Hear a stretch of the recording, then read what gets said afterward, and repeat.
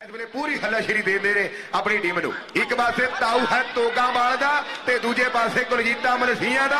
ਇਹ ਦੋ ਕਬੱਡੀ ਦੇ ਬੱਬਰ ਸ਼ੇਰ, ਸਾਨਾ ਵਾਲਾ ਭੇੜ ਹੋ ਗਈ ਕਬੱਡੀ ਕਬੱਡੀ ਕਬੱਡੀ, ਹੱਟ ਕਬੱਡੀ ਯਾਰਾਂ ਦੀ। ਇਹ ਖੇਡ ਹੈ ਵੱਡੇ ਸਰਦਾਰ ਵਾਲਾ ਕੁਲਜੀਤਾ, ਫਿਰ ਵਧਿਆ ਹੋਇਆ। ਕਹਿੰਦੇ ਨੇ ਅਮਰੀਕ ਪੌੜ ਦਾ ਨਗਰ ਅੱਟਾ ਹੈ, ਜਿੱਥੋਂ ਦੇ ਦੇਵ ਨੂੰ ਮਾਣ ਮਿਲਿਆ, ਉਸ ਮੇਰੇ ਵੀਰੋ 75 ਫੁੱਟ ਤੋਂ ਜਾਫੀ ਨੂੰ। ਉਸੇ ਤਰ੍ਹਾਂ ਇਹ ਕੁਲਜੀਤਾ ਪਰ ਇਧਰ ਤੋਗਾ ਵਾਲੀਆ ਤਾਊ ਇੱਥੇ ਰੱਖ।